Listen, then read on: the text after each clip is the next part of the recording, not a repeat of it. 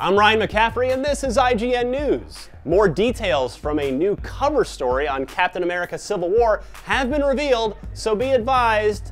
Spoilers ahead, plug them ear holes. According to Entertainment Weekly, William Hurt's Thaddeus Thunderbolt Ross is no longer a general, but now U.S. Secretary of State.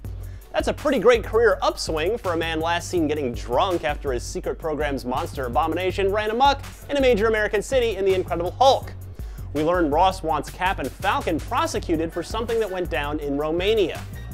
Although EW doesn't say so, we can presume the Romanian trouble was Cap and Falcon liberating the Winter Soldier and all the ensuing mayhem seen in the new trailer.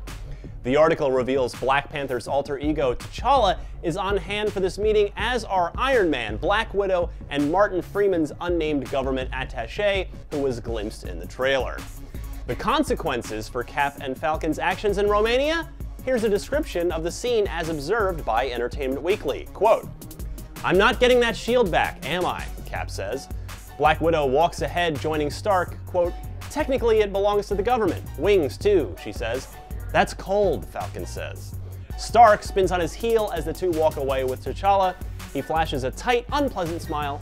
Warmer than jail, he says. For more on all things in the Marvel Cinematic Universe, keep it tuned right here to IGN.